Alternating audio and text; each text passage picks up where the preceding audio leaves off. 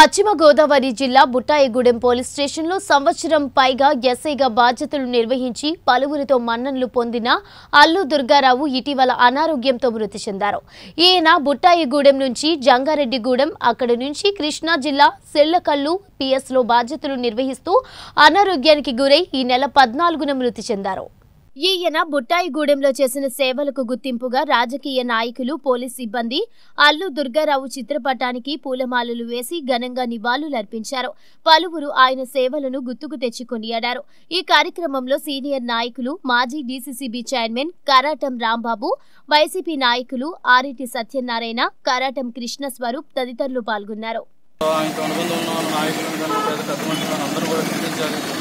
మాట్లాడాలనే సంకల్పంతో సభ అనేది సార్ అంత మంచి వ్యక్తి అంటే ఈరోజు ఏ సోషల్ మీడియాలో చూసినా సార్ గురించి ఉంది ఒక మనిషి చనిపోయినాక ఎంత విలువ రావడం ఇంత ఆయన గురించి చర్చించుకోవడం అనేది అంటే చాలా అలాంటి ఇది రా- మరణం రావాలన్నా కూడా ఒక పూర్వజన్మ స్ఫూర్తిమైన ఉంటుంది సార్ ఇలాగ చిన్న వయసులో ఇంత వన్ ఇయర్లో సీఏ అవుతారు. వాళ్ళ బ్యాచ్మెంట్ అందరూ కూడా చాలామంది సీఏ ఇన్స్పెక్టర్గా అయిపోయారు సార్ కూడా లిస్టులో ఉన్నాడు. ప్రమోషన్ ఈ సంవత్సరం వస్తుంది.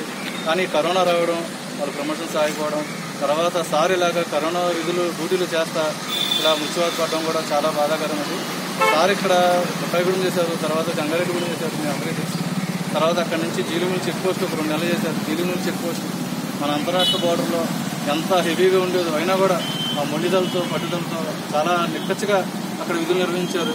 తర్వాత అక్కడి నుంచి ఆయన నిజాయితీని గుర్తించి ఎస్సీబీలోకి వెళ్ళారు. ఎస్సీబీలో చాలా రైడ్లు చేశారు పోలవరం.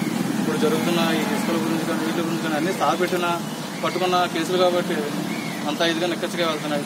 అలాంటిది సారు నుంచి వీడి కృష్ణా వెళ్ళడం అక్కడ చిలకల్లో మనకి జీలిమిల్లి బోర్డర్ ఎలాగ ఉందో అక్కడ చిలకల్లో అంతరాష్ట్ర బోర్డర్ పూజలు చేయడం. అక్కడ ముందు ఎస్ఐ గారికి కరోనా రావడం తర్వాత మన ఇన్ఛార్జ్గా ఉన్న చిలకల పోలీసు ఎస్ఐ గారికి కరోనా రావడం తర్వాత మళ్ళీ మన ఎస్ఐ గారికి దుర్గారావు గారికి కరోనా రావడం.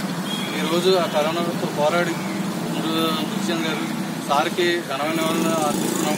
అలాగే సార్ గారి కుటుంబాన్ని కుటుంబానికి ఇద్దరు ఆడపిల్లలు ఉన్నారు. వాళ్ళిద్దరూ కూడా ఇప్పుడు ప్రస్తుతం ఇంటర్మీడియట్ చదువుతున్నారు.